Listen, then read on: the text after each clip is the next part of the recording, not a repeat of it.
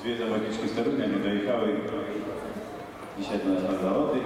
Zgodnie z najlepszą życiówką, jaką dysponuje zawodniczka biegnąca po torze czwartym. Jest Dominika Gasica, jest Karol Sopot.